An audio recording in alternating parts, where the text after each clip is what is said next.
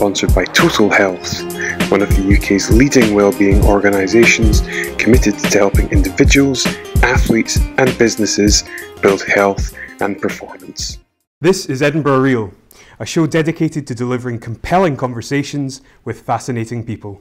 I'm Elliot Reeves, and I'm joined by my co host Craig Alley, founder of Total Health, who are sponsor of the show and one of the UK's leading health and wellbeing organisations committed to helping individuals, athletes, and businesses build better health and performance. Today's guest is Russell Dalgleish. Russell is managing partner of the consultancy Exalta Capital Partners. You're also director of MBN Solutions, non exec director of Excel Group, chairman of We Are the Future, and you recently founded the Scottish London Business Network. Additionally, you act as an investor and advisor to a portfolio of companies, including borders based recruitment software provider IQX, and you recently ranked number 29 on a who's who list of most influential British entrepreneurs. Congratulations. Russell, thank you so much for being here. Welcome to Edinburgh Real. Thank you. You've, you've topped it now. That's the longest intro. that's, that's, that's beaten it. It's blown them all out of the water. so it would be great if you could set the scene by telling us about your early years, where you grew up, and, and what you were like as a youngster. Oh, intriguing question. Um, I was born in 1964 and I was born in Selkirk in the Scottish borders. I recently had a, um, a letter from a, an undergraduate at Southampton University, also with the surname Dalgleish. And he'd done research into the family name. And he traced back Dalgleish, and that all the occurrences of the name seemed to be in the Scottish borders. And he got back to, I think, about 1460. And at that point, the first mention of the name Dalgleish was from a, a burn in the borders, or a water spout coming out of the ground, mm. which is about 12 miles from where I was born. So I think we're well and truly, that's where we're from, yeah, yeah. borders. Um, so I, I, went to school there and was brought up there. Um, I suppose there's, there's two early memories for me as a child, which I think have greatly affected my career. The first one was a, a really clear memory, which may not have happened, which was sitting on my father's knee at five and watching man landing on the moon. And that being a, an incredibly moving experience. And it's strange because it wasn't like we were watching football or something or some sporting activity or rugby in the borders. It was that moment. Now, I don't know if that really happened or if it's just some kind of myth in my mind, but it's really clear mm. as a, a, first memory. Mm. And the other one was, um, I think it was 1976. So from, it seems so strange now for the world we're in today, but obviously we had three television stations, and if you wanted to change a channel, you had to get up and do it. Mm-hmm. Um, but my father started taking us to Edinburgh. So this was like going to New York, you know, from Selkirk to Edinburgh. We come up this A7 road, which was really, really, really windy, and we go up to Edinburgh. And we were going to go up to Edinburgh to go to the cinema. So this was a huge outing. We had a bright gold Volkswagen Beetle, and he smoked a pipe while he drove. I, we got terribly car sick. So it was quite a juttery journey getting all the way up with all of this mm. smoke in the car and everything. We got there. And we went to the cinema and we queued up and we went into the cinema and we sat down. And at that point, the cinema was a it was the Odeon. It was a single auditorium full of people, and we're sitting there, and you've kind of got no idea what you're going to see, but it's like a day out. And Star Wars appeared, and that is the other major moment in my life. Not because I'm a huge Star Wars fan, but suddenly a world which was completely and utterly different from anything I'd ever managed before appeared. And they, those are the, the two moments, I think, from my childhood which have most affected my career. Because that mm. took me mm. into studying technology, and the one for me was this application of technology in a business sphere. So those yeah. are my two clearest memories. Yeah, yeah. So, and, and you went to, it was Napier University you went to, to study? It was um, Napier College, yeah. Was it Napier College? So I got, yeah. um, I, uh, we didn't have a particularly high performing school, but a few of us managed to get to, um, get to further education. Mm-hmm. I think the numbers were it was two to one. Twice the number went to prison. I think when you look at the careers, so there was there wasn't many of us that actually got onto college or university, um, because of this fascination with technology. We'd, we'd had a computer at school. It was in a room and you could look through the window at it. So Mhm. we actually did have a computer there. Um, so I wanted to do something in this area of technology. I don't think it was, I remember what it was called then, but it was something like technology. So I applied to Stirling University. Mm-hmm. By that point, it was all computer science courses, and my, my qualifications were nowhere like that. Mm. Napier College had recently, I think it was year two of a, a sort of a computer applications course where you did programming and used computing. So yeah, I did that. Hmm Now technology is so big, and we realise uh, the power of technology. At that time, it's a really interesting time, though, isn't it? Because we were, the world was being made aware of the power of technology. Really, at that point, did you recognise that at the point how big it was going to be, or even I have think any I think it's difficult because the world was basically the town where I was brought up. Yeah. You know, we got our first punk, I think, in 1981. Not sure, kind of felt like that. You know, no, the, the world was that. It Mm. wasn't. A, um, there was no world beyond that. You, you, you could see glimpses through the television of watching Kojak or Starsky and Hutch or something, Mm. but but there, there wasn't really. That was something else. But like I, I don't think I'd been to Glasgow until I was 22 or 23. you know, we, we didn't Yeah. travel. There was there a perception of technology? I, I, I don't think so. I, I don't think it. It seemed like travel took the same amount of time to get from one place to the other place as it probably had for a hundred years. you know, Yeah, Uh, so yeah. I suppose there was there was a ZX81 that come out. Computer. I remember the first computer games and playing Pong, but Yeah. I don't think we could really equate that to how it was going to affect Yeah. society. Yeah. But I, I just had this desire that you know you- you're 18, you've got to do something. Mhm. Oh, I'll do that one, and and that that was that was life changing going to do that. So we started at Napier, um, middle of this would be Margaret Thatcher's first term. The economy was in recovery from probably our usual recession. hmm Napier University, and it was at Sighthill, so Napier College had had, um, they'd taken advantage of the fact that they'd reached the end of the lease time on their computer equipment, so they'd pushed it outside, like to get, to get it replaced. Budget hadn't come through, so they had to bring it back in again. So when I went from the, the first day, we went down from the classroom lecture theatre down to the computer lab to find teletype machines with very large buttons covered in rust because they'd been outside and eight VDU display units. And that, that's what it was. And you kind of went, Star Wars didn't look like this. this, this guy quite be right. and that's how it started. Okay. I shared that. Um, my digs were we got me a, a, a room in a, a family in Corstorphins Because you know, because you were studying at Sight Hill, so Kirstorfin seemed close because yeah. there was no perception of don't you really want to be in Edinburgh? So yeah, it was like that. Yeah. And the couple who owned the house, their father was a magician and the mother coached ice skaters, I think. So it was a really, it was like that crazy world. Mhm. Smash for dinner every night. That's what it was. it's so long ago. Amazing. Yeah. The world completely different. Mm. So, so what did you do after leaving university? And I suppose when did you um, start to identify that you had, I suppose, entrepreneurial tendencies or talents? Um, well, I was really lucky. So the, it, at the end of the first year, I discovered that the course, it was a four-year course. I discovered it was a sandwich course. Should probably have read the instructions a little bit better. So this sandwich thing sounded quite interesting. And it was in the third year, you would have the opportunity to go and work in industry.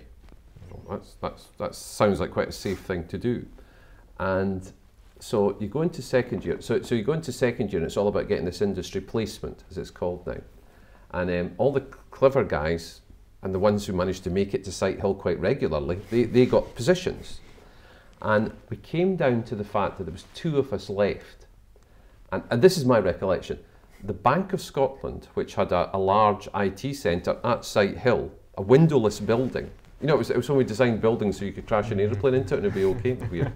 um, so, so like it was like two weeks to go or something, and the Bank of Scotland appeared and said, "No, we've we've read, we've got a letter from the university saying that you have you have undergraduates who are learning about computing and programming. They're doing COBOL, we do COBOL, so we, we're we're willing to take one. You know, it's like a sort of a charity nice thing to do. So the Bank of Scotland turned up and said, "What have you got left?" Said, "We've got two of them. We've got Russell and another guy." Well, because the other guy's hair touched the ground, they chose me. And then so they went, "We'll take one of that. It's a bit tall, but we'll take that. so I spent a year at the Bank of Scotland's Managed Services Division um, in this, and, and this was IT in 1985. So you arrived at the building and there was security. You had a card which you put into a machine which banged through the time you came into work at and banged in when you left. And when you entered the building, there were no windows at all. So you were in an environment, you didn't know it was snowing outside or sunny. And that's what we did. And the, I, I, was incredibly lucky. I, I worked in the um, credit card team. So we only just started, I think, just started to deploy NCR, started to deploy hole in the wall cash machines. So I worked with an incredible guy there, um, Archie Dixon, who mentored me. And he, he sort of took apart some of the stuff I'd learned at university and gave it practical application. And he would show me amazing things like um, how the magnetic stripe works on cards. So we would dissolve the stripe to actually see the individual bars and then how that equated to a binary code and then how the card reader read that and then how we processed it. And I kind of learned how, so I was doing fintech. So, so, so that's what we did. So I stayed at the bank. So I did that, came back to college, graduated, and of course the bank went, well, you, you kind of didn't steal anything, so we'd like to be back again. So I kind of, I kind of, my career was mapped out there by that piece of luck. Um, and I stayed at the Bank of Scotland for four years. I was very fortunate. I was very quickly promoted through this very hierarchical structure um, because I was new and fresh. I, I kind of had a year start on everyone else. I had this fantastic mentoring because they, they, they, did everything they could for me when I was there in placement. And then one day they sat down and said, um, You're doing very well. You've reached that level where the next one's sort of supervisory role. So you now have to decide on what your career is going to be. So you can either become a banker, and we'll put you through banking courses. This is when banking was like the most respectable thing you could possibly do. Mm-hmm. Or you can become a real IT professional, we'll put you on a CICS course and get you doing databases and doing all that stuff. So I went home and I, I sat down with my, my partner and said, I'm, I'm, they've asked me these questions. And she said, what do you want to do? I said, well, I don't want to do either of them. I'd never really thought about it. but I'd just gone to work every day, clock in, clock out. Mm-hmm. And uh, so I went in the next day and resigned. And I went to see a recruitment agency and they got me a job with Fortronic, which is now Ingenico, which is a company that make credit card machines. Okay. Because I'd been working on this credit card processing, so it was quite sensible. Hey, he'd be quite good. Then he can work with our credit card machines. Uh-huh. And uh, and they hired me, and then I started to help them. I did customer service, marketing, customer facing stuff, and uh, I did that for three years, and started to do some international travel. Started to understand how, how to work with the business community, and how technology could help. So I did a lot of stuff with like Northern Bank and Fenwick department stores, these, these kind of major companies, and how technology was going to help them achieve their business needs. Mm-hmm. When you resigned, was there any feeling of fear, doubt, oh, I shouldn't be doing this, or were you just so, no, this is not for me, resign? Because I mean, that's a real entrepreneurial mm-hmm. kind of spirit there, isn't it? It's just interesting to see I think it was arrogance. it was complete arrogance. I did a completely protected environment. Mm-hmm. I, I went to college, so university. Now I went there, and someone went, "Oh, you're very good to go to college. Here's here's enough money to get a drink every night and feed yourself while you're at college." and um, we'll pay you unemployment benefit during the holidays, and we'll give you rate rent relief. You know, so it was a fairly protected environment while I studied. I, the idea of taking a part-time job when you were at college was just mm. mad. Why would you want to? I've got so much money anyway. I can't. So it was silly. uh, and then I'd gone straight. The bank had chosen me. Then they'd taken me back immediately, and then they'd been really good to me while I'd been there. Mm. You know, like you kind of. Here's a pension. They just give you a form. They, they, put money somewhere. Mm. I didn't even know what it was. And then they did. Um, they give you a. You know, interest rates were probably ten percent at the time, and I had a one point two percent interest rate on a mortgage. So it was a really protected environment. So arrogance moved me away from that. And then I got the harsh reality of three years working for a supplier into the commercial community. And it was there was funny moments as well. There was I went to um, we were do, so for trying we're doing a deal with um, Northern Bank in Belfast. So I was over there and I was supposed to be helping with a pitch. So I was now starting to do that customer interaction piece. And uh, uh, they said that could I come over for 11 o'clock for a 2 o'clock meeting to present to the board. And arrived there and they went, ah, oh, great, we're just going to go out. We're going to nip next door, Russell, grab a quick bite of lunch as we're all prepared. But it's, it's about half 11 now. And we, we went into the pub and they went, pint of Guinness? And, and at that stage you went, well, you're the customer, yes. Four pints of Guinness later, no food. Ah, we better get back, Russell, so you can do your presentation. Complete setup. Complete setup, right? The board knew what was happening, they all knew what happened, and I'm going, oh. that was it. Yeah. So, so it, was, it was a bit mad like that, but you did get the cold hard reality of you have to help us sell things to make it work. Mm-hmm. And, and I left there, can't really quite remember why I left there, but I left there because, oh yeah, I'd read an, ad, an advert in the Scotsman which was for a company in Glenrothes, which was looking for a like a, a more senior role. it was a customer services manager or marketing manager, or something. Company was Calluna. So Calluna Technology in Glenrothes manufactured small form factor disk drives, about the size of a packet of cigarettes. And they'd come out of a company, Rodime. Rodime was the incredible technology success of Scotland that we all forget about. So in 1978, Rodime took a patent out on a three and a half inch disk drive which was the disk drive that went into every desktop PC in the world until um, IBM and Seagate cloned the technology. So that was a that was a huge technology success. So I went into this company that just floated on the stock exchange, had a lot of money, and my job was I was the first non-engineer hired by a company of 110 staff. And what happens with in, in, engineers are incredible and change the world, but they love solving problems. So what's happening historically was the phone would ring there and the engineers would answer it and go, oh, that sounds like an interesting project problem. Let's all get together and try and solve it and stop doing the development work on the new product. Mm. So my job, my job was the best job in the world. I had to answer the phone. So I sat down at the desk and, and someone would phone up and say, we, we, we bought one of these and it didn't work, or we're thinking about building a train, building a train and we want to put these in it. I would capture the information, schedule meet, daily meetings with engineers, capture the answers, then go back. First day, um, must have been about mid-afternoon the phone went and it was NASA. So NASA phoned from uh, from Houston to say, um, mm-hmm. you know, we, we, we've been in discussions with you guys about doing this. We've now got a 50-page spec, going to fax it over. And I go, yes, okay, here's the fax number. And then we did that. Then we ended up flying, um, uh, we ended up with, uh, uh, it must be one of the few pieces of British technology that flew in the shuttle. So we, we kind of got to do that. You know, then the, the, next morning it was Japan, and I went from sort of being the the interface from the outside world and the engineers on to being marketing, and then eventually uh, sales, sort of sales marketing director. Right. And my last year there, I spent one week a month. My, my, uh, in four weeks, I did week one in California, week two in the UK, week three in Japan, and then week four somewhere else, and that was my cycle. And this was at a time before the internet, so you didn't get jet lag because you went somewhere and you lived in that time. You would only be contacted by fax to your hotel if something horrendous had happened. Otherwise, you just got left alone. It was really wonderful, actually. Japan was the best, which is Japan was incredible. I was with Sony and Philips and helping them design the, design the cutting edge technology and wow. understood what quality was. They had a perception of what quality was, and we in Europe had a, an expectation of quality. Yeah. And there was a bit of a gap there, mm-hmm. and it was it was wonderful. So I did that. Okay. So it kind of took me up to, I suppose, 90, 97, 98. Right. Okay. And and so, I mean, your current role, I suppose, the managing partner of Exalta Capital Partners, is that like your primary occupation, yep. so to speak? Yeah. Yep. Right. Okay. Um, maybe you could tell us a bit about the, the work that you do there. So um, I got into since about 98, mm-hmm. my life's kind of been involved in turning around helping change companies.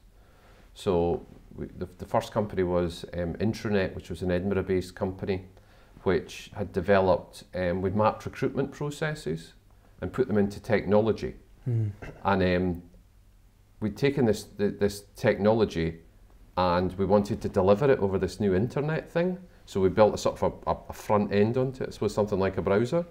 And then at the same time, Scolocate, a co-location facility with servers, opened in Edinburgh. So rather than buying our own servers, we put it there. So we had this software, which was accessed over the internet, which was hosted in someone else's server. So I'm claiming that was cloud, because it kind of sounds like, in mm. 99. so we did it then. And so, so that company, um, we went on to deliver, we, we mapped, we provided the technology that mapped all of IBM's recruitment globally for three years. So there was an Edinburgh company that was the portal on IBM.com for all applications. So on the back of that, I got to meet some really interesting people. But the big change was um, EasyJet launched in 97 and suddenly we could go to London really cheaply. So I, I drove the sales for that company out of London. Ah, right. And then it, I kind of stayed in London and did turnarounds and got involved in other interesting projects. Mhm. Um, eventually, we sold the last turnaround business in, in 2008 to American investors, and then I set up my own consultancy, which we then adapted into being Exalta. So, what Exalta do is we work with, typically in the SME space, at revenue up to 20, 30 million. And we take those companies on a journey. So we find companies which are, it's working and they're being successful, but they're not getting the growth that they really want. And we help them with that value creation piece. We have unique technology which we use, we deploy to assess the company. So we, we, have, a, we have built over the last few years, probably six or seven years now, a questionnaire which is 174 questions. Jeez. And for example, if, if this if you two were the two senior leadership figures in your company, I would get you to complete the questionnaire, and based on the results of that, we c- based on the results of that plus some of our research, Mhm. we can probably help you accelerate the growth of your company. If you've got the desire to do that, we identify the challenges that are holding the company back internally, Mhm. where the real market opportunities are, and how to actually establish a growth route. And then we roll up our sleeves and help you do that. So I tell people we, we don't actually charge for what we do because through our engagement, we should actually be delivering you either helping you win new business or helping you drive out cost that's more than our cost of our service. So that's what we do. So we now have about eight partners around the UK doing that. The challenge is trying to bring in new partners, which is I spend a lot of my time doing. Mm. All the companies we're working with are all doing really well. You know, we're seeing growth from the in Scotland. It's probably from the hundreds of thousands to the multiple millions. Down south, maybe from the millions to the tens of millions, but doing really well. And it's value creation, so it's not necessarily towards an exit. It's simply to help the leadership team to get this company on a route to success. Yeah, and so how does that work then? I mean, do you specifically implement things yourselves by taking some sort of um, position in the organisation, or do you do it more from afar, like an advisory position, if you like? We take a, uh, we act as advisors. We typically will typically seem to end up with board positions within the companies, perhaps with an equity stake. Yeah, But yeah. we're acting as advisors to the business. And the business is a separate entity from the people within the business. So we look at this is Mhm. the business. This is so we look at um, MBN Solutions in Glasgow. Mhm. That was a hard-working IT recruitment business. We had we worked with that company, did the assessment, identified the fact that the real opportunities for that company they were doing kind of quite well in this new emerging big data area. So we focused on that area, and today they're one of the most successful players in big data in the UK, and that's the journey that we've went on. And a lot of it is there's some trial and error in there based on where we know we have to go. Mhm. But it's all about getting the internal company to work correctly, the leadership team correct in position, and then the Mhm. story to the market working correctly, Mm. and then helping us to add value to our clients. What's the most common challenge you, you witness when companies come to you and you Um, if you think about it, it's, it's kind of an obvious one, which is if we started a company today, if we continue using the same methods of operation when we've got a company with 20 people, we're probably not optimal. You know, because we used to make decisions down the pub. And we're now making decisions down the pub, and then one of us is telling the staff, and then the staff don't quite get it, and they're not aligned with what we're doing, and they've actually got their own ideas they would like to contribute, so we have to change the style. The, the control element within a, a British company is the board meeting. And if you imagine the journey we've gone on from startup to turning over a couple of million, we probably haven't, we, we're not really quite, we- we're having a monthly meeting, which we call a board meeting, Mhm. but it's probably not a board meeting. It's probably more an operational meeting. So without having board meetings and a strategy that we're holding ourselves accountable to, we're probably not really on the right route. Now, you will see companies that don't suffer them, perhaps someone with a very strong leadership team or leadership individual who's going, that's where we're going. But typically, it can lead to challenges and problems, and it's eating the time is addressing these individual problems. And it's Mhm. lack of experience within the team as to how to go on that journey of growth. And we, as partners, have all been through that experience, so we can help. Yeah, exactly. Yeah, that's that's excellent. Okay, so people who watched our episode with Bruce Walker um, will be familiar with We Are the Future. For anyone who hasn't watched it, um, We Are the Future is a, an organisation that organises global summits um, to help connect entrepreneurs. Uh, and young entrepreneurs and inspire people, which is absolutely tremendous. And um, you're chairman of that Yeah. organisation. So, uh, how did you get involved with that? Uh, and again, what does your role um, as chairman entail? Well, there's, there's, there's, there's a couple of things that I think I've learned. And that time I was with Calluna Technology and other companies, I spent quite a lot of time in Silicon Valley. And I've got a belief about why Silicon Valley is successful. We believe a lot is because there's really clever people there, which is correct, and there's a lot of money there, which is correct. Mm-hmm. But I think the real reason for success in Silicon Valley is down to collaboration. Mm-hmm. And collaboration is actually quite a difficult thing to understand because we in the UK are going, I'd love to collaborate with you, but what's in it for me? or I'd love to collaborate, but I'm kind of busy doing my bit, and I, I'm, you know, I, you know, there's reasons why we find collaboration difficult, and it's vested interest, and it's almost like it's unconscious. We're not seeing ourselves doing it. In California, in my experience, when you meet someone for the first time, the meeting typically starts with a handshake. The handshake's followed by the person you're meeting using certain words, and the words they use is, How can I help you? Now, how can I help you in the UK is a greeting. How can I help you? Oh, it's nice to meet you. Let's go and have a meeting. I think I've learned to understand that when the person in Silicon Valley is using the words, How can I help you? we're, we're not translating that correctly. How can I help you in California means, Russell, can you please simply explain to me in terms that I'll understand what it is you actually do and what you're trying to achieve so that I can help you by making introductions or giving you advice. That's what how can I help you means. So I've got that inherent in my system. So when I meet someone and they go, they ask for help or they look for advice, I feel mm-hmm. compelled to deliver it. Inherently compelled. now, Bruce Walker approached me and said, um, I'm looking at putting on a conference in Edinburgh, and I felt compelled to help. And I said, That's fantastic. How can I help? And he said, In a couple of weeks' time, we're going to book out the Usher Hall. And I said, I'm afraid I can't help you because that's 3,000 people or something, and there's just no way that's ever going to work. However, if you change your plan, please come back. a couple of months later, he came back, he changed his plan a little, and I said, That's better. And the third time he came back, he was really open to how can we, how can we work together. So we worked together, we put on an event at the assembly halls. Yeah. Really luckily, I think we were the first event at the Assembly Halls in George Street the week after they'd finished decorating it. It was the most stunning interior building in Edinburgh. The chandeliers were glimmering. It was gorgeous. And we put on this event. It was great fun. We brought in young entrepreneurs or young business leaders, and we spent the entire budget on flying one young lady over from America. She was, um, I think she was in the, she'd just been named in a Forbes list of top 25 entrepreneurs aged under 25. She was probably under 21 actually.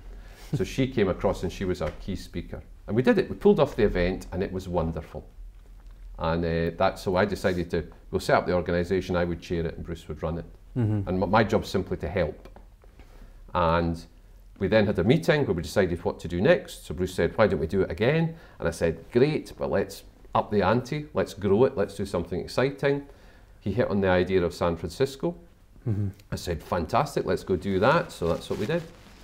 And we just ignored all the challenges and all the risks and all the reasons for not doing it. And I'm sure, as Bruce told you, we, we sent him to San Francisco. He phoned up and said, I'm 19 and they won't let me have alcohol. um, this place is mad, it's so hot. And, you know, I've got these meetings and we worked out a program.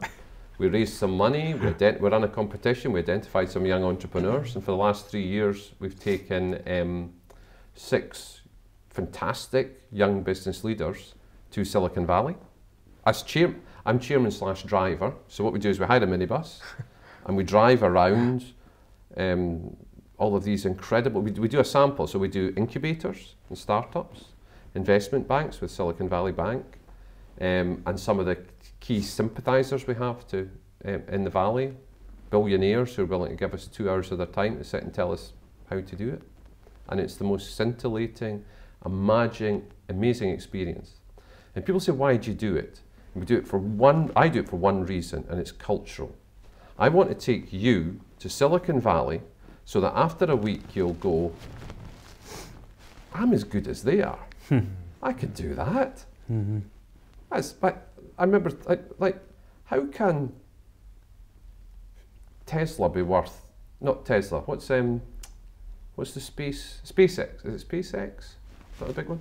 How, how can that be worth 30, mil, 30 billion pounds? There's no asset in it. There's nothing, that, and you go, because it's a punt. it may work, it may not work. It's a punt. You go, well, I could do that. And then we try to capture that mindset. And the effect on the individuals that go is incredible. You listen to particularly Scottish people explaining what they do. Yeah, we've done this, it's all right. Yeah, it's not quite finished yet. It's not really a good fit for the market, but we're not quite sure, but it's this. And we meet them to American individuals in Silicon Valley who say, done this, it'll do that, that's what will happen. Yeah. And they learn and you listen to the and you get it in the bars and you get it. It's a full-on trip. It's 18 hours a day, six days, not stopping. Mm. You know, this is what you're going to do. We're going to push into this meeting. You're going to ask these questions. We're going to come out.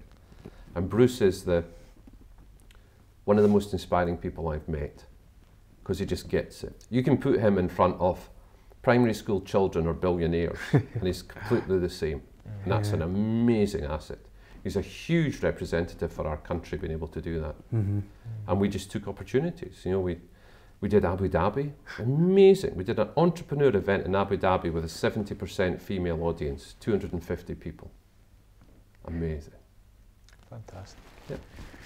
It, it, I mean, it's, it's incredible because I've watched your, your talks on YouTube and whatnot, and it, it genuinely seems as though you're impervious to fear. And it's just incredible. So, I mean, how do you sort of manage that? How do you cope with standing in front of loads of people in public speaking? I mean, maybe that's one of your strengths, but you, you don't seem to be phased by massive goals and going out and, and achieving them. Um, I'm not sure actually. Um, I suppose it's honesty. You know, the, the hardest thing to do is to lie because you've got to keep on remembering. So, so you're asking me questions and I'm giving you honest answers. Mm. When it comes to performing, being on a stage, I'm a natural performer. I'm in my element there. Mm. I also have depth of knowledge on the subject. But, and I think it's a mixture between the performer and depth of knowledge. So I have a, an ability to see the world from the other side of the table. So and I thought everyone could do this. I discovered it. So I know what it's like to sit where you are. So I know you're not wanting me to curse and swear. You're not wanting me to be gloomy. You're not wanting me to be boring. So I can see that, and I can sit. I can see. I can sit where you are and see me, and I, and I can see that. And so when I'm on a stage, what I want to see is people going, "Really? Write that down. That's what I want." Because then people leave with something and they look at their book and they wrote that down and oh, I'm going to go and try that. You know, to stand there and go, um, you know, when, when Bruce got us into Apple by writing to the chief, writing to Tim Cook, you know, uh, well, how, how do you find Tim Cook's email address? Yeah. Well, Bruce looked it up on CEO email. CEO email, I don't do that. and that, that, that's, that's what's wonderful, because everything's there for us now. Mm. Yeah. This generation has access to every single piece of information at the press of a button. Yeah. There's no reason we should ever go somewhere and not know what we're talking about because we can look it up. The fear thing, I don't know what, what to be feared of. but we are a feared nation. Mm. Yeah. But, but uh, we're not feared. We're a very comfortable nation. This is a wonderful, wonderful, wonderful place to live, sitting here in Edinburgh, in Scotland. If you have your health and you have access to money, you know, it's a fairly lovely life. So there's only going to be a certain number of people in Scotland who are going to feel dissatisfied with that, who want to push out and want to drive growth in their businesses. Because growth's going to come internationally. Mm-hmm. And that, those are the people that I gravitate towards. Mm-hmm. But as humans as well, we're hardwired for fear. So Yeah. do, you, do, do you think, and you know, a lot of neuroscience will, will show that we're, we're hardwired to, to hit that kind of stress button in the brain. Do you think fear is the driver for a lot of people? I don't know. Um, it might be a limiter. Mm. So perhaps in a in a coaching sense, you know, people are worried about expanding their business into London, but if I go with them, that makes it less challenging. Mm. You know, I, I had a thought the other day that we should teach how to use the tube as a, as a, as a, as a, a section on a university course. Because actually, I find uh, people tell me going to London is really expensive. I'm going, hang on, it cost me £18 on Ryanair. How, how's it expensive? it's because we were getting taxis round about London. Because there was a fear there of that tube. And I suppose I don't have the fear of being wrong. So I, I don't have a fear of the fact that if I look like an idiot in this interview. no, if I do, I probably won't publicise the interview, but I, I don't have a fear of that. Yeah, it, it- it's it's funny because failure is another thing, and, and I've seen you speak about this as well. And in one of your talks, you say, um, if you were to look at all the things I do in my career, you'll see there is a common feature, which is failure. I've very regularly failed at things that I've done. Yeah. You go on to say, but these failures are important because I've discovered that only by failing was I able to understand how to succeed. So, how long did it take for you to start perceiving failure in a positive light? Because most people, when they fail at things, they're, they're, they judge themselves based on their successes and their Mm. failures. Suppose, what my wife would say is that he makes his own rules. So if I lost £50,000 on this deal, then that's cost me £50,000 to learn that lesson. On the next deal, I've got to make what I think I can make plus £50,000 to recover what I lost. Mm-hmm. So I don't sweat over what went wrong. So I don't fester on it and go, well, could have done this better or could have done that better. I've forgotten. So I've got an ability whereby the next morning it's gone. right, that was that was oh god, that was embarrassing. Don't want to do that again. Let's go. So I think I've got that as a, an inherent belief in myself. Yeah. I'm not sure actually. Yeah. No, I, th- I think, well, I mean, based on what I've seen off you, that sounds probably quite accurate. And that's an incredible skill and uh, asset to have. It's also incredibly annoying. it's really irritating. it comes across as arrogant. You Yeah. know, it does all those things as well. Yeah. But, I've, yeah. I've heard that that that's a very similar analogy from athletes as well that, that don't sweat that shot that they just missed. They're now just focused on Yeah. what's the next step, you know. And Yeah. uh, there's real ability to drop into the moment and focus on what's in front of you, isn't there? My favourite sport to watch on television is snooker, and it's because of that precise. Mm. It's the Mhm. close-up effect of stress on the individual. Mhm. You know, he did that terrible shot, and then the next four shots were bad. Did that terrible shot and won. My hero looking at snooker was obviously Scottish, was Stephen Hendry. Mm. And Stephen Hendry told me, taught me more about winning than anyone I knew. And he wrote a piece. And in the piece, as I recall, he said something like, I don't really like snooker that much. I just like winning. and I'm really good at winning at snooker. And he talked about winning, and he talked about I'm 8 1 up in a first to nine frame. And what I do is I do not I, I work harder to win that next frame than any frame I've worked on up to now. And it's almost like you, you're, you're in a boxing match, and when the person shows that first sign of weakness, that's when you hit them harder than you've hit them ever before in the match. And it's that kind of winning. Mm. Now I, I don't have that, but I, I can I can clearly see it. Mm, mm. So, so you're an investor as well. Do you have a particular investment approach or investment philosophy? Um, no, not really. I I suppose I it, it's it's more the people Mm-hmm. because I, I think I've learnt with investment you've got to kind of understand what you're doing. You've got to understand. You know, if, if someone was working in a sector that I really knew well, so like you'll get HR technology. So I, I've had a career that's kind of touched on that quite a lot. And someone came to me with a really brilliant way to solve a problem I understand, then that would get my that would get my attention. So when people write to me now, please nobody send me a business plan. Right? um, when people contact me and they phone me up and I'm willing to talk to them, no, just contact me. And if you can get a hold of me, I'll speak to you. And I say, please don't tell me what you do. Please tell me what the problem is you fix.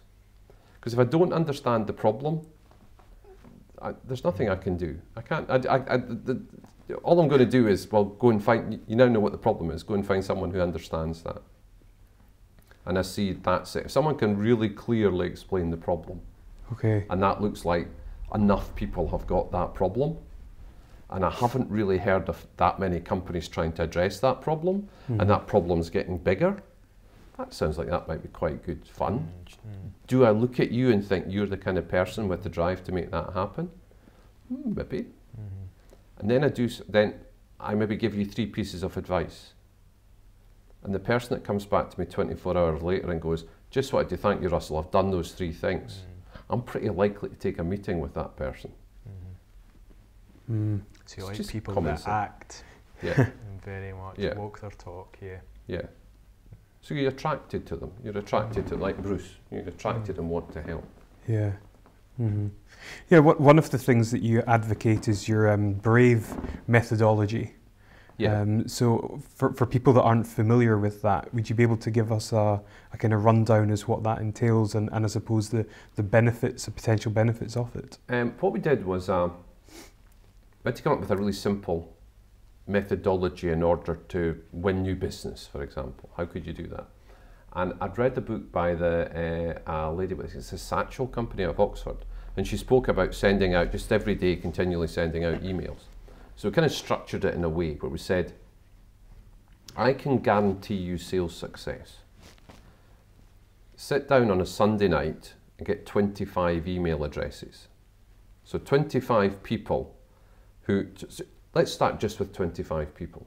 And then every day, Monday, Tuesday, Wednesday, Thursday, Friday, send five emails.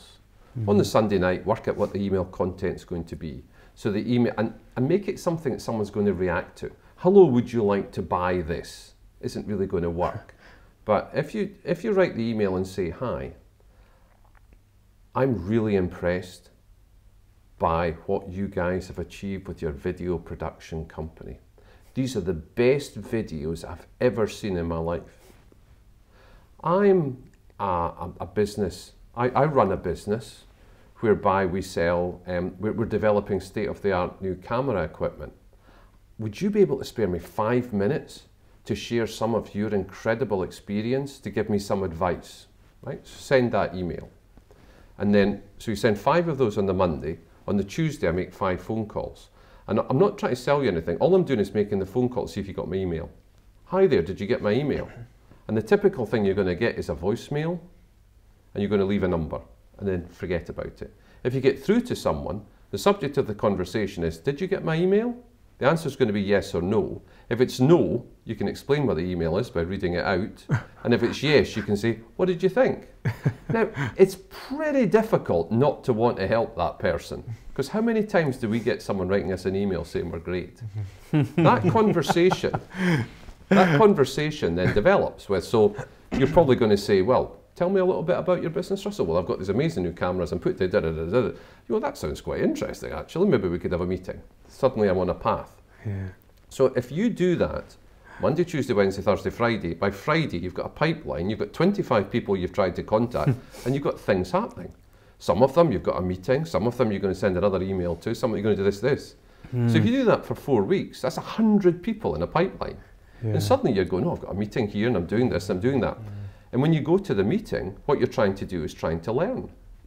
Because I'm not trying to sell. You, you, know, you asked me to come along and tell you a little bit more about my camera. This is what my camera is. And you go, well, I could use that, or should, you should speak to this, or speak to this, or speak to this. And suddenly you're developing market knowledge, and you've got activity. Mm. And activity is the key. Mm. And that's it's basically that. And the challenge is, how do you do it every day? Because you think, well, it's only going to take me 20 minutes. Yeah. But it's incredibly difficult. But if you can get used to the routine of doing that every single day, you cannot fail. now, I will promise you cannot fail. Because if you think about it over a, a day, a week, a month, a year, Uh-huh. if you've done that every single Yeah. day, if nothing, you've got 1,500 people you've tried to contact, right? Unless you, you either you've learnt the fact that something's not right with what you're doing, Yeah. Mm. Or you're, you're having meetings with people. Yeah. The best Dragon's Den's pitch I ever saw was my chap who went on Dragon's Den, and the Dragon said, I think it was the first series, the Dragon said, um, We don't understand your product at all, but your pitch is fantastic. I'd be interested if you want to come and see me because I might want to hire you. Uh, yeah, And I went, that was the guy's plan all along. Good on him. so, so it's to generate activity. What we must do is we must develop, uh, uh, MVP is quite an interesting acronym for me. Because in this country, we seem to think it means minimal viable product, i.e., let's get together, let's design our product, let's develop our product, let's test our product, let's take our product to market. I would propose it means minimal, minimal viable proposition, which is let's come up with our idea, let's encapsulate it in some digital way, and let's try and push it out to the market to get some meetings to see if anyone cares about what we're talking about. So you and I have a meeting, and you go, that's kind of interesting, Russell, but it needs to be blue, square, and on the moon. And I go, oh, that's interesting. So I'll go back to my bench and go, blue square and on the moon. wow, that's, that, that's actually quite good. So it's actually to get the feedback from the market as to what you're doing as quickly as possible. And I would suggest Brave is about getting out there because we don't spend enough time in the market. If you look in Silicon Valley, people are in the market all the time because their market's there. So Yeah. where's the point? Obviously that's building relationships and, and network and a, a lot of market research and, and valuable information. Where's the point where you try and turn that into then selling your product to them, or do you just keep building that relationship and, and growing it organically, a structured organic? Why haven't they bought it already? so what was, what was the reasons they didn't buy it? Hmm. So if we take that camera example, why didn't you buy a camera? So then we're- that's what we're analysing. I'd, So I'd it could be because you don't buy cameras. Right. So you've advised me to someone else. Why didn't they buy the camera? So you're continually looking to find out why they didn't buy, and then you correct that. So would there be a point in maybe that initial meeting where you would then propose your product to your service to them and, ask them if they would purchase it, or you just if they want it, you've explained it well enough Yeah. that they will buy it. Yeah. Yeah. Because as soon as I go, so that's been really nice, very kind of you to invite me to this meeting. You've been really helpful. Thank for you for your advice. Would you like to buy my camera? Mm, no, that it's it's it feels wrong. It's a bit like dating. You know, it's, Yeah, it's got to feel yeah. consistent. So if, if I've had this meeting with the senior executive in this film production company who's shown some interest in my camera, you're going to have given me some advice. All I've got to do is follow the advice because you're the expert. You might have told me that you're a member of um, filmmakers meetup where there's 50 people like and you said you should go along russell. Well that's fantastic. Now i'm going to go along.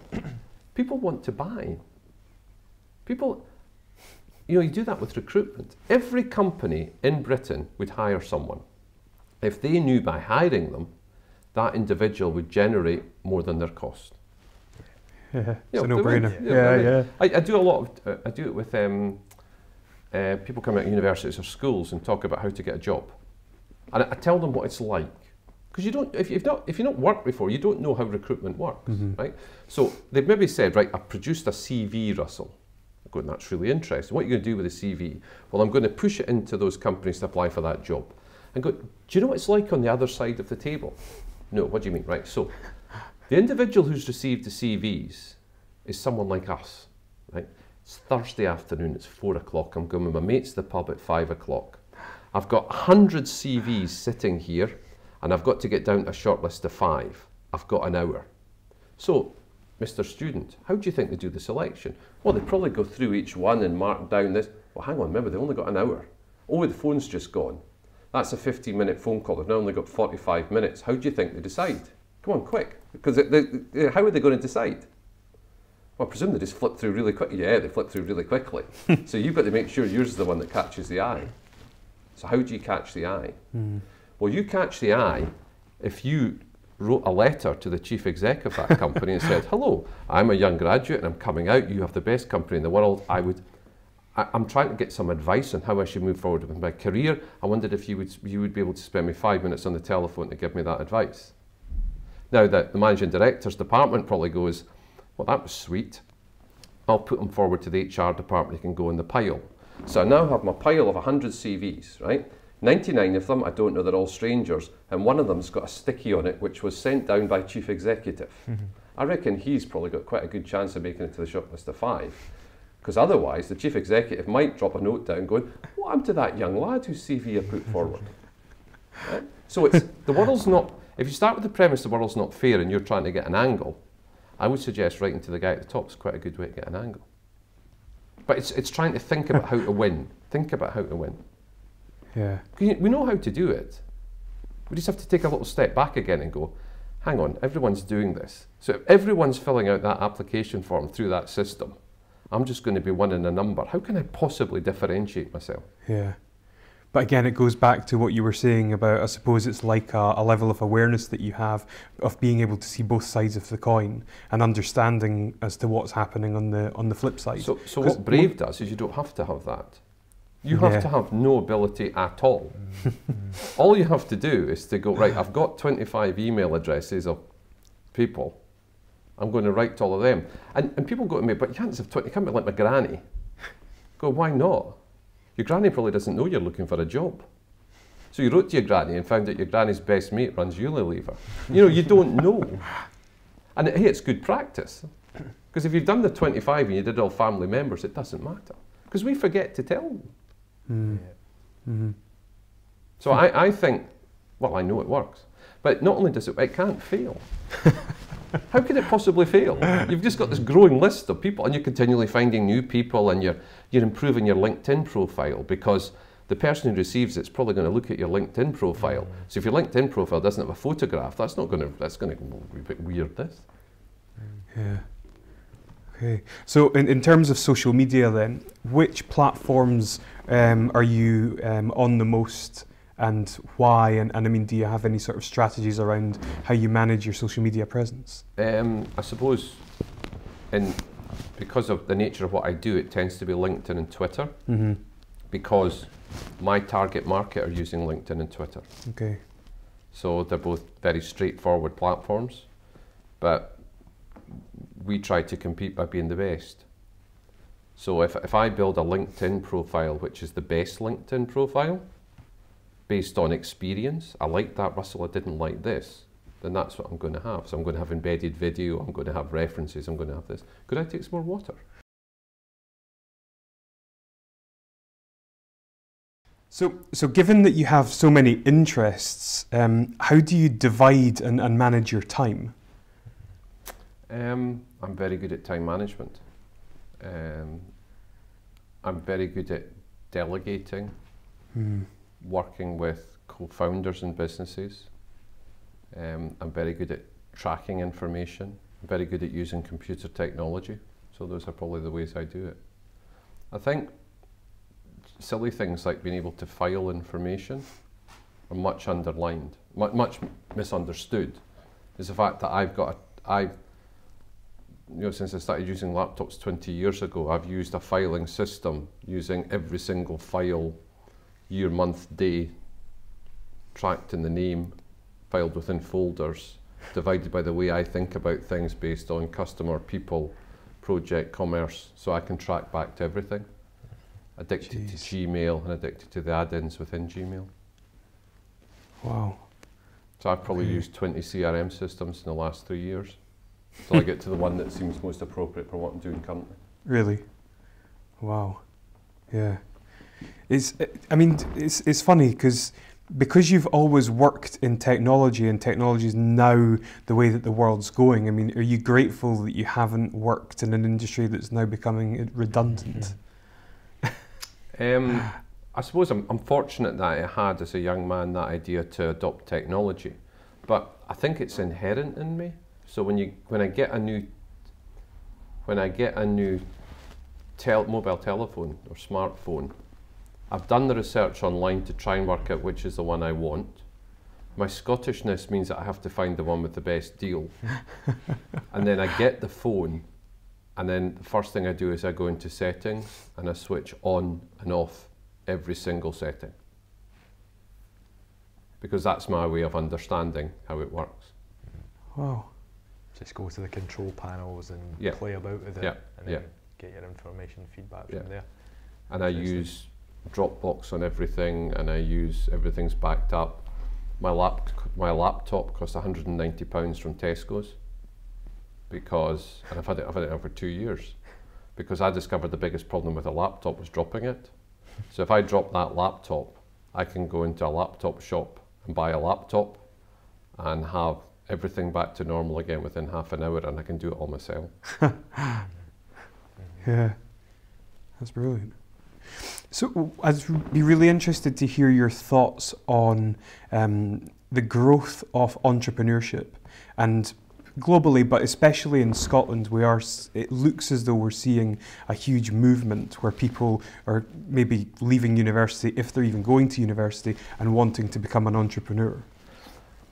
I think there's a myth here. I, I think you know, entrepreneurialism is the new rock and roll. Yeah. I think is a, a cultural myth. I'm not convinced we're seeing more people starting businesses now than we used to see people starting businesses. I think everything's just the way it's always been. I think, you know, if I look at the networking groups, Mm-hmm. so I recently joined the Merchant Company, which was started, I think, when James VI went to London, right? So that was merchants. Those merchants developed into being traders, then developed into being business people, and then developed into being entrepreneurs. They all look the same. Mm. You know, the, you know, surely when we were a nation of shopkeepers and everybody seemed to have their own shop, wasn't that all businesses? The wasn't that all people doing marketing? rather than CEO. Yeah. Yeah. There's something's happened about we've taken from American culture this idea of the goal of my business is to raise money is I think quite scary. Mm. Um, when I first had a business 20 years ago, you couldn't have taken some of the equity in that business. And Why on earth would I allow you to do that? We would have taken debt. We would have had a stack of credit cards. We would have Mhm. done whatever was required to do that. Mm-hmm. Come hell or high water, you're not taking some of the equity of my business. Mm. And I think there's something happened there. I think there's, there's the terminology has become endemic in our society. So we have something called seed funding. So seed funding being this initial amount of money that comes into a business to allow the business to do something. Yeah. But why do you need seed funding? Why not just borrow the money or beg, steal, you know, that? You know, if, if you're doing, involved in drug research and the seed funding's four million pounds, it kind of makes sense. But if you're developing an app, why do you need seed funding? Because I need the seed funding to hire a sales team. Surely you're the sales team. Yeah. Mm-hmm. And and and then you think about seed funds. So seed funding in Scotland might be fifty thousand pounds. Seed funding in London's one hundred and fifty thousand pounds. Seed funding in New York's one point five million dollars. Mm. I think I can probably do a lot more damage with one point five million dollars than I can with fifty thousand dollars. Mm. So I think I think the whole entrepreneurialism thing, particularly around about y- young men in leading technology companies, is kind of become a bit skewed. I've seen statistics for there being no noticeable difference from evaluation in companies that have been through incubators and companies that have been through doing it in our own garage. Yeah. Right. So I, I'm not. I don't like the term entrepreneur because Mhm. I'm not entirely sure how that's different from businessman Yeah. or yeah. businesswoman, and it's it's a difficult word to spell. It, I don't. I, I just don't. I don't quite get it. Right. But I accept the fact it's a terminology that people use. Uh-huh. I think I, I judged the um, Scottish Businesswoman of the Year with the Association of Scottish Businesswomen last week, and I saw some of the best entrepreneurs I've ever seen, who were people building businesses who were just building a business by doing some work, making some money, doing it more, doing it more, doing it more, Yeah. and scaling business. You know, somebody from startup with a, a business that's doing 40 grand a month and going to be doing 80 grand a month by the end of the year. Now compare that with a tech business. I, I don't know, that seems pretty good. Yeah, the tech business could end up being worth a billion, but how many Yeah. are going to Yeah, do that? Whereas yeah. that looks, Yeah.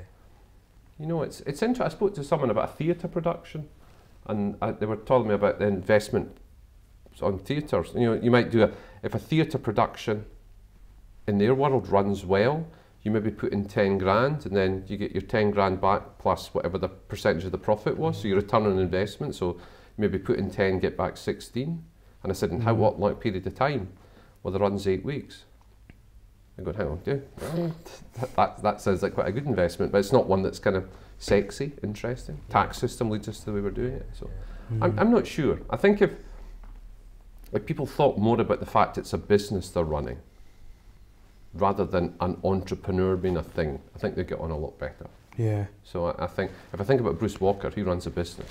Right. Okay. He has to sell stuff in order to make money to feed, the, feed, feed himself and the team. That's a business. hmm Yes, he's called an entrepreneur, and yes, that's really exciting, but it's a business.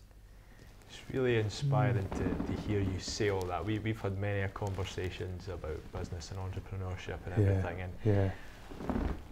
I'm, I'm I'm very confused by it all. I'm very confused about the, the wave of, like you say, the rock star um, status that comes with being an entrepreneur. The word, I thought that that was perfect the way you said Yeah, that because same. I struggle with the word and the, the meaning of it, and think it's a, a word that kind of annoys me a little bit. And it and it's just because of there seems to be this this kind of falseness of I'm gunning for this, I'm going to be an entrepreneur, I'm going to be CEO, and I got all these people around me. We're not going to get any money, but we're going to be a huge success at the end of it anyway. And I kind of think it leaves this big black hole for a lot of people running into some serious kind of issues as far as their whole their whole world is going to come crashing once they don't achieve that. 'cause they're kind of Mhm. running down this th- this line and being involved in health and well-being and mental health and stuff myself. I worry that then if you're a young man, a young woman that doesn't have the mental or emotional resilience, and you've chasing your dream and you're working so hard at it, suddenly that world collapses. Then where mhm. does that leave these people? Probably in a bit of a mess. Yeah, And all yeah, it's going to take is a recession. Yeah. Yeah. You know, how many young fledgling businesses could survive a reduction in the money, the amount of money in, in Mhm. circulation? That's all going, no, no, we're not going to spend any money this month. Yeah, How many would survive? And, but there's nothing wrong with trying. yeah, But I would suggest give yourself a better chance of winning. Get a good coach. okay. Yeah. Don't get allocated a coach. Someone told me this in, in Silicon Valley. Your job as an entrepreneur, your sole job, so you get two jobs. Your two sole jobs is one, get the money. And get the money generally means sell stuff, so you get the money coming in. Two, find your coach. Find the person that's going to work with you and whose advice you're going to take in order to build your business. Not get allocated a coach, not get allocated someone to help you. You're going to find. And the young entrepreneur goes, But how do I choose? You go, Yeah, that's your job. it's called LinkedIn. Sit and work on that. Mhm. Track people, follow them. And then the question is, Well, how do I get that person to coach me? Yep, that's your job. but he wants, but I, I, I can't afford them. He wants £2,000 a month. Your job's to find the money, get the coach to do that. You know, it, that's what it is. you know. Yeah. If you look at a business, they've got a coach. There's someone in there. Wh- Why, why, you know, why would Bruce want to work with me? Because probably I've got some experience that he feels he's lacking, hmm which is surprising considering the fact he's, um, you know, he's so young. hmm No, I, I, we, we, we flew into Abu Dhabi airport uh, a year ago. So Bruce would have been 20 and I was 51. And I said, Bruce, you do realise by the time you're, it'll be a long flight, the time you're my age, I won't be here. Not, not, not I'll be dead, but I couldn't physically at 81 be here unless you've got me in something you're pushing me around. You know, so there's a huge age difference there. So of course he hasn't got that 30 years experience. But find the coach. Find the person who's done your path before you and get their advice. Listen to their advice and do what they say. hmm So I- so I think you de-risk it. So for those companies, you de-risk how you're going to be successful. Yeah. So, what would your advice be to a young person leaving university just now and thinking, I've got the option of going down the sort of traditional, perhaps corporate route, or this, let's not call it entrepreneur, but kind of self employed type business person? Make your decision. Yeah. Do what you want to do. But you could also say, what's success look like? Mm. So, success might look like I'm self employed, I have enough money to live the life I want to live, I'll go and do that. Good on you, brilliant. Mm. Success might look like I want to build a huge multi million pound business. Good. Well, what's your chance of success of doing that having never had a job before? Mm. So I would say probably I'd get some experience Mm. first as to what it feels like to get a job. Yeah. And then why not, as you're doing that job, start in your own time, start to think about the ideas and how you could bring your reality of your business to fruition. While you've got a job and you're getting used to getting up in the morning, going to do things you don't like to do and do that. Mm. So logically, that would probably be what my advice would be. Yeah. That's great. But I. I would also respect everyone to do whatever they want to do. Oh. Yeah, it's excellent advice. That, that, that answers one of the questions that Elliot will probably. Yeah. It was, it's always on the list to, to Yeah, ask the- at the end, and how do you define success? Haha. Yeah. So you've all got your own de- definitions of what success looks like. Yeah. My, my, my definition is the people I'm working with are developing. That's what's important. Everything else will come with that. So um, my proudest moment is that um, I, I work with a, a young man driving a business, and young by the way is anyone under 45 or something, um, driving a business who's um, they've been able to move their family from not the nicest part of town to a lovely new house, and his children will go to school in that area, and his family will develop and live that life, and th- that as those kids become teenagers and go to university, their aspirations will come from that. And that's because we worked together and did that. Because at the end of the day, it's family that matters. Mm.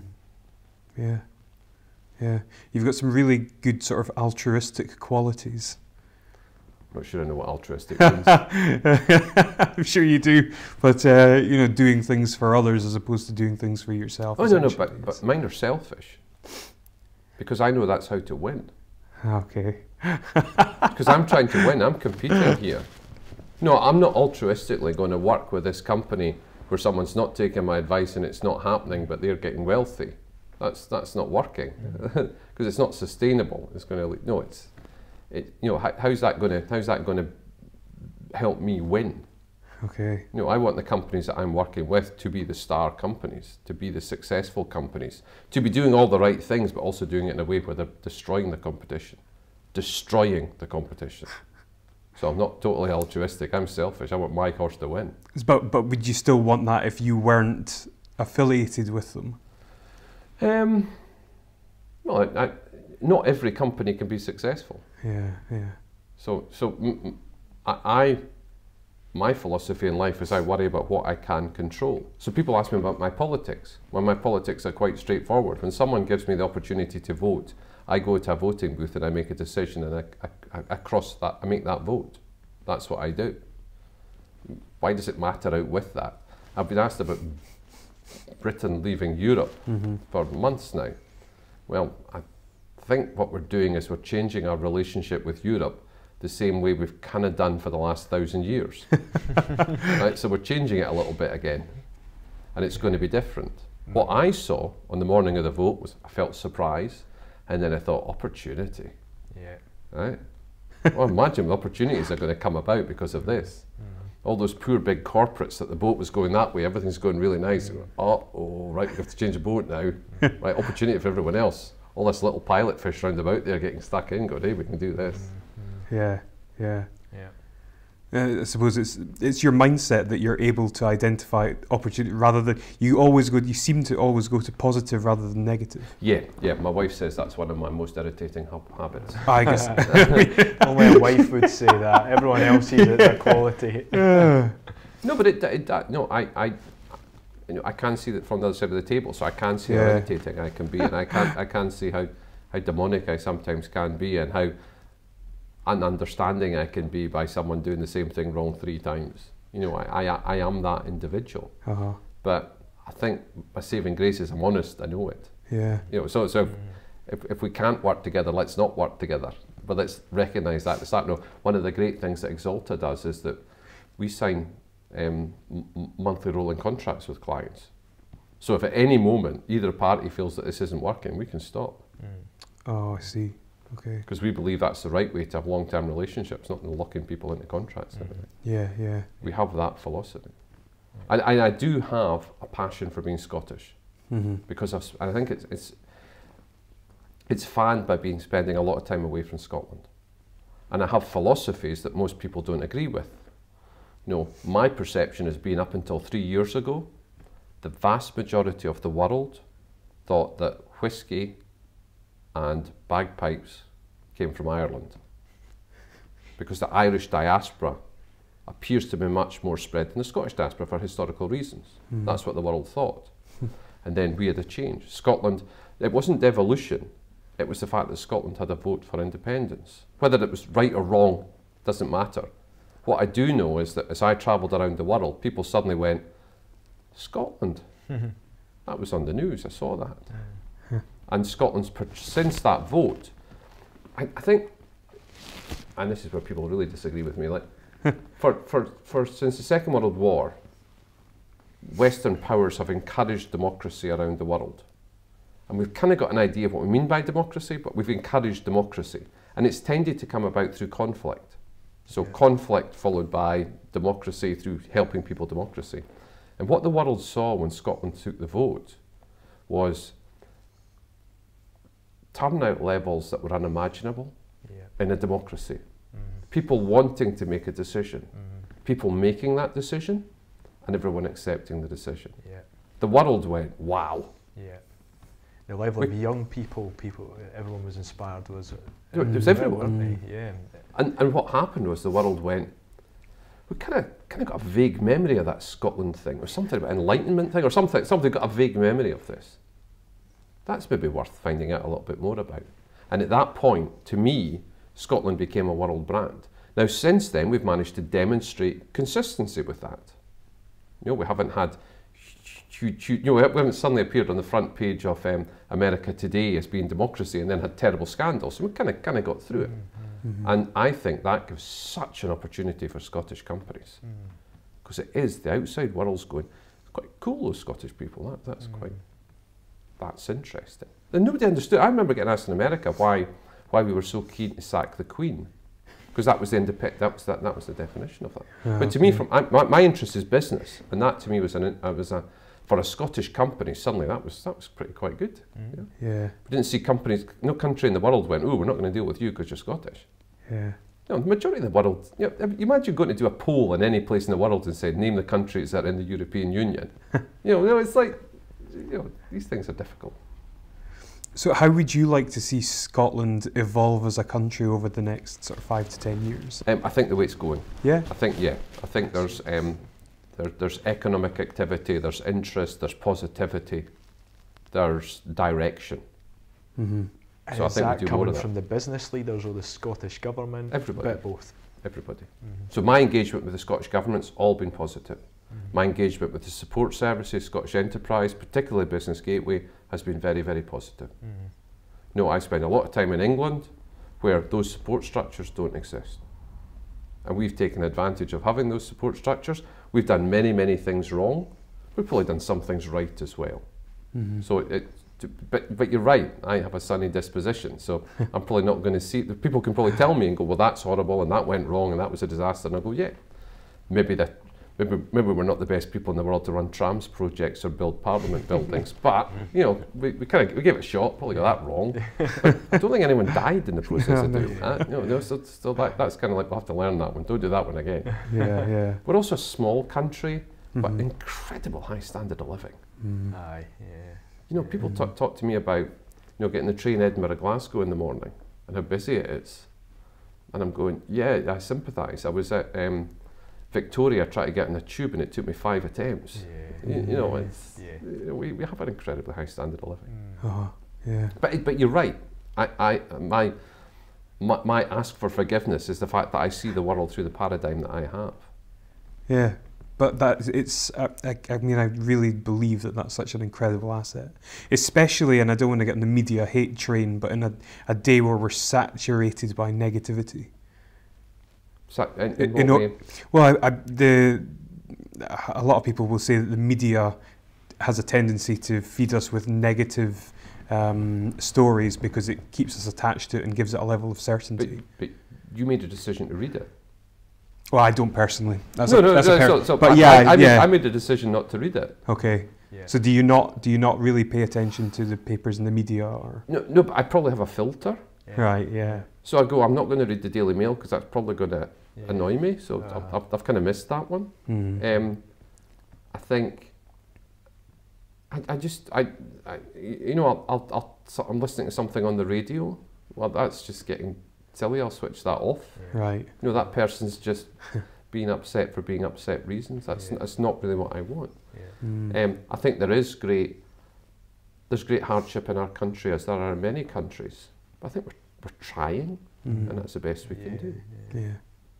Yeah. No, but I don't. I, you know, I I flip through newspapers and things, but you know, I'd have to. s- Will we have newspapers in five years' time?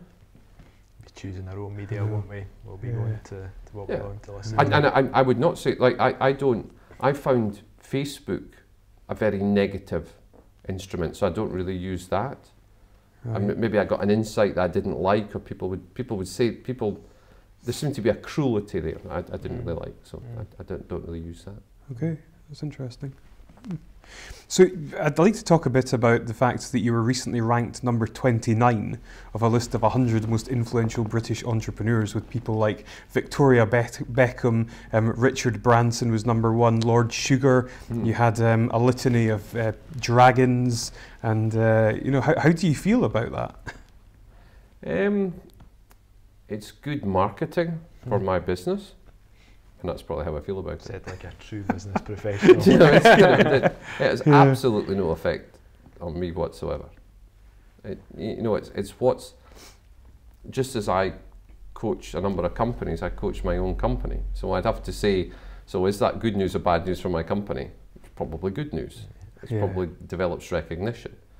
It fits into our social media marketing approach, so that's very encouraging. Mm-hmm. You know, because our social media can push that out occasionally, Mm. or even better, someone else pushes it out about Yeah, us, yeah. and there's that.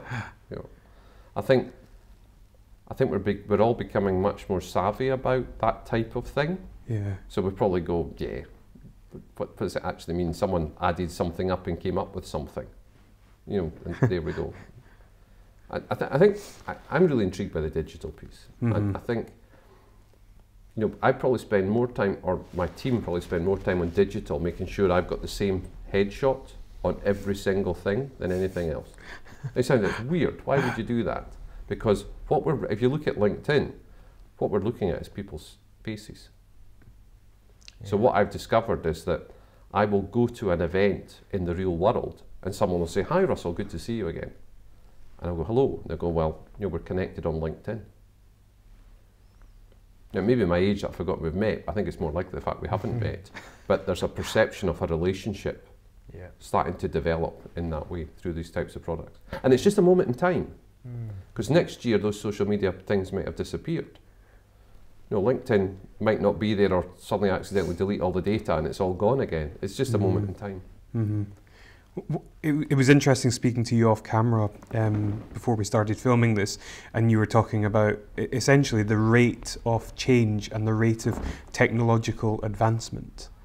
Uh-huh. Um, I mean, what do you think about how quickly the world is, is changing? So, my philosophy here is it's actually changing. We will look back at the end of my life and say that this was a period of interesting change but not accelerated change. I worked this out one day in a train. Um, I was born in 1964 and it's now 2016. Mhm. So that's 52 years. In that time, man's landed on the moon. We've developed an incredible number of different products. We're very heavily affected by the invention of the internet at the moment. We've done Mhm. all these things. Countries have changed, powers have changed, money's moved about, China's risen, America's fallen. All these things have happened since 1964 to 1950, 1964 to 2016. So let's, let's flash it back.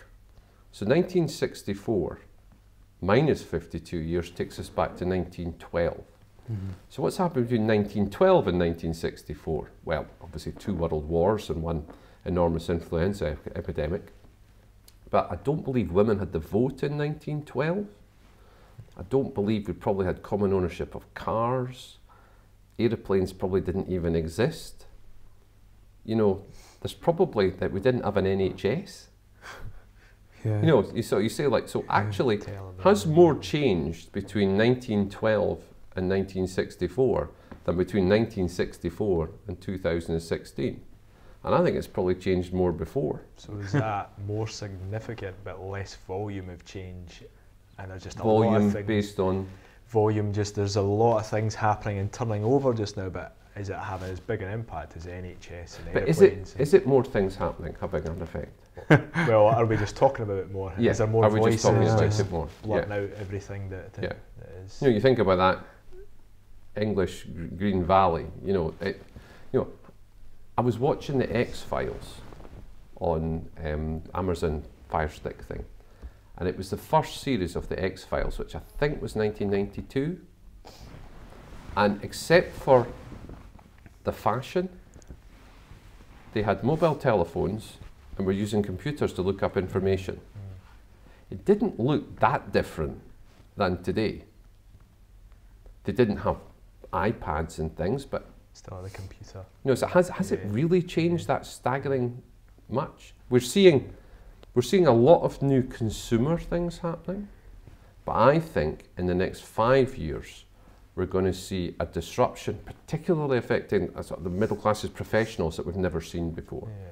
I think we'll see areas that thought they weren't going to get affected getting affected. Mm-hmm. If you look at what we've seen from the change in the music industry, mm-hmm. yeah. you know that that complete transformation of an industry. Yeah, yeah. That's huge. Mm-hmm. Things going up, things going down. Outside music venues going up, and um, people buying albums going down. That that kind of mm-hmm. change I think we're going to see it in accountancy, we're going to see it in legal, we're going to see it in investment, we're going to see those areas being seriously transformed. By technology. By technology. Uh, the change driven by technology, yeah, yeah. Because mm. we've seen it in the oil and gas industry, an industry that didn't adopt technology. Mm. I accept the argument we could say it's the price of a barrel of oil, but this was an industry that did not adopt technology. Mm. So, given your level of knowledge and uh, perhaps expertise, what sort of changes do you think that we might see? Everything. so, so like driverless cars just being a sort of a simple. Yeah. Uh-huh. You know, my, my, my, my grandchildren will look back and go, how could anyone have been daft enough to let humans drive cars? Because mm-hmm. you just see it's going to be like. so I think I think, but we'll see artificial intelligence systems we will see um, uh, the Internet of Things seems to be the way to gather together the data. In my own profession, we'll see, we'll see experience and expertise being changed to data. So we will make decisions based on data. The data shows that this is the right thing to do, mm-hmm. not hello, I've got a hunch that if you do this, this will happen. So we'll see these, this data becoming the core dominant mm. currency. So that's where I find it, it comes to this real tipping point. When we take out the human element, how much of this artificial intelligence, for how much it gives us with all this data, means we can very quickly look and make a decision.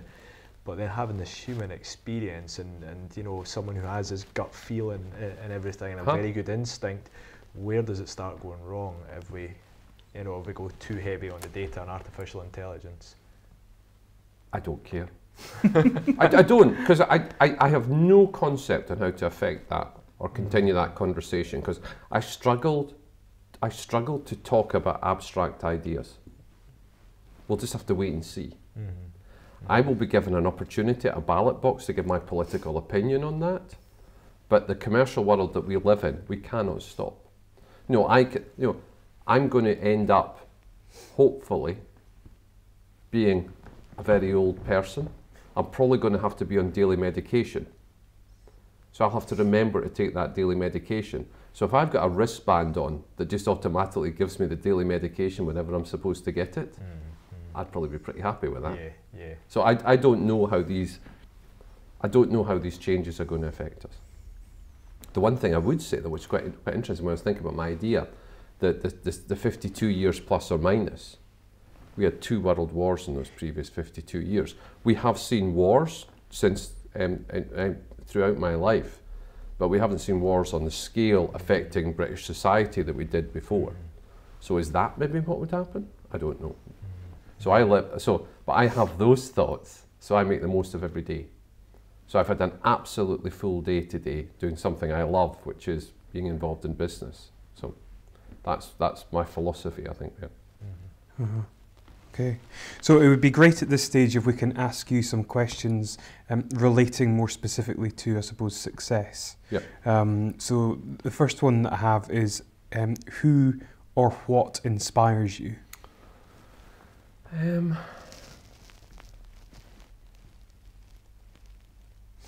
I suppose I'm inspired by people succeeding not down to natural talent, but down to hard work. So, so people who've done that, Mm. those are the people that inspire me. Mm.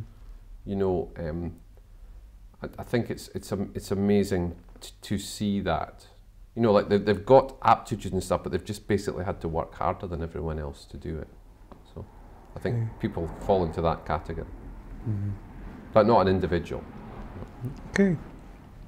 Um, what would you say was the, the best day of your life? And contrasting to that, what would you say was the worst day of your life?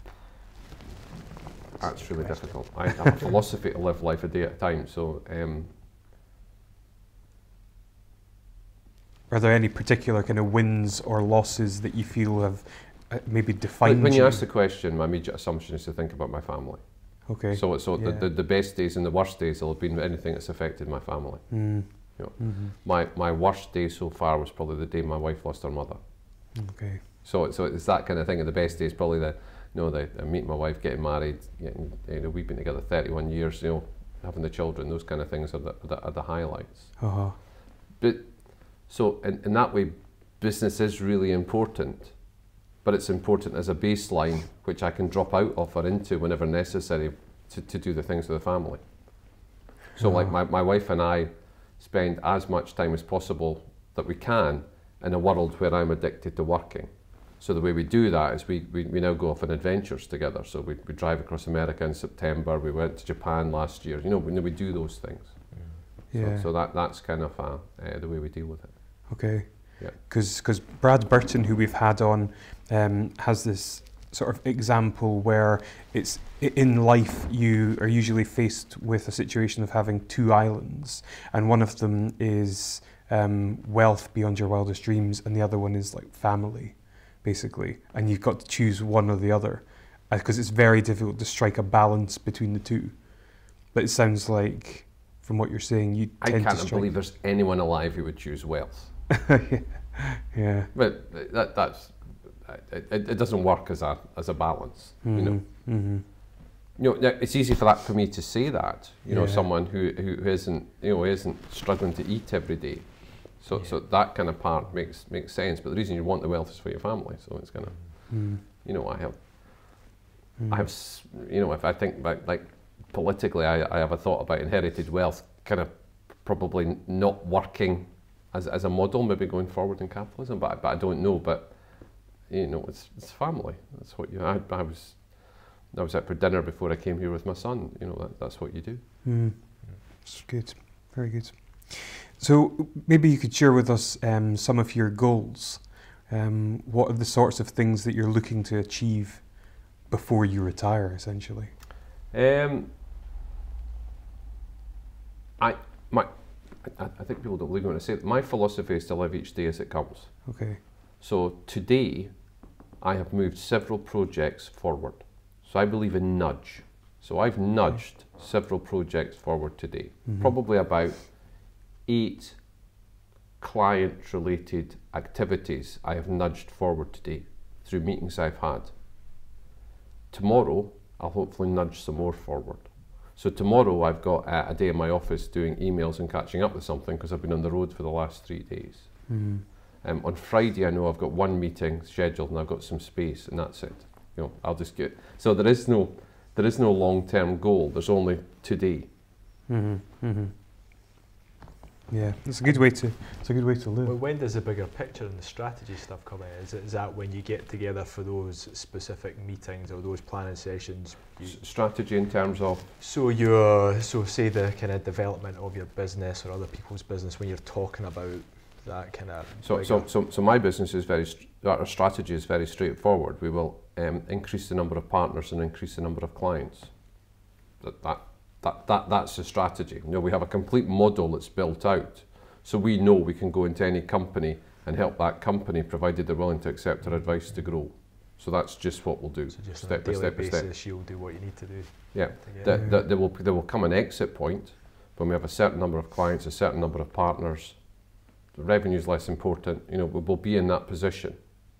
And at that point, point, if someone wished to acquire the business, then we may, we may honestly accept that as something we want to do. And because that's, you know, we're unlikely to pass on the business to our children. So that's kind of logically that's what you would do. Um, and that point will happen when that point happens. And we have a team built round about us that would help us optimize that moment. So, so we're kind of covered that way. Yeah. So as far as our own company, we have a very, very clear strategy. We have no time frame on that. We will just keep doing what we're doing because it works. Mm-hmm. We have strategies in place with all of our clients based on what they they want to try and achieve. Mm-hmm. What is the best piece of advice you've ever received? Um,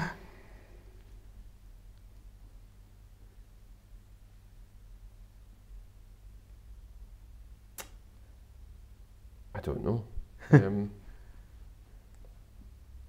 I, I don't think there's a, a single piece of advice. Mhm.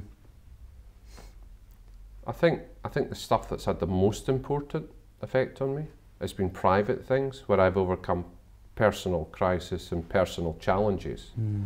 and people have been available in my life to help me get over those, Mhm. which are way beyond business and everything. And when, when you ask the question, those are the things that I think of. Mhm. Okay. Um, and this question is an unusual one. It'd be really interesting to hear what you have to say in response. So, if you could pick up the phone and make a phone call to the 20 year old you, what would you say? Um, I wouldn't make the call. really? Yeah, absolutely not. And, and why? Why would I want to risk affecting the journey that 20 year old man's We've going all to seen go on? Back to the Future, haven't we? when he goes back, it, it just gets mixed up. Yeah. yeah, that's that level of power I don't want. That's you know, how, how do you know that you may give that person, you know, by taking the call, that person didn't meet the person they married or didn't meet mm. the no, no, no, no, I don't, I mm. don't, poof, don't want that. Mm. Right. Yeah. Okay. Even all the heart and heartache and everything that got to this point, I don't want that. Wow. I think that's the first time anyone's ever answered that question in that way. Yeah, because I think in human nature is to always to look back in hindsight and what we could improve on. Yeah. And that seems to be something that's really striking me with you, your ability, like we're saying, to drop in the moment, not s- Yeah. not worry yourself too much with what's going on in the future, not you know ruminate over the past. It's just where am I, what am I doing? That's, that's not Yeah, being in the forward. present. Yeah, it's, Yeah. I it's suppose it's brilliant. acceptance. Yeah. So Mm. I accept. I I accept I didn't win that. I accepted. I accept I didn't win that. I accept I did win that. But it's just acceptance of it. yeah Brilliant, brilliant. That's been an amazing interview. Thank you very much. Um, It's it- good fun. Genuinely, yeah, yeah. It's, I've had a fantastic time, and there's, I've, I've taken a lot of things um, away from this. So thank you so much for for coming. Thank you. Um, thanks. Thank you, Cheers. sir. And Good stuff. uh, yeah, yeah, that's been really, really, truly fascinating. Um, so thank you for, for your honesty, your advice, um, and your, your charisma just comes across. It's brilliant, honestly, genuinely. It's uh, because you're you're never quite. su- You, you see some people in videos and you see pictures of them, and you I suppose you make assumptions as to how they m- may be, but you're quite different to how I expected you to be actually, and I mean that in the most complimentary way. Yeah. I met someone at, it was at Caledonian Club in London. I was doing a talk, and one of the chaps came over to me and went, um, saw you on saw you on LinkedIn, Russell. Yeah, yeah. Thought you were a short arse. I'm going, I don't really know what that That's excellent. We live at a wonderful time, Yeah. and everyone should just, you know, appreciate what they've got. Enjoy it. Mm, This could go tomorrow. yeah, absolutely. Okay. Brilliant. Thank. Russell, thank you so much.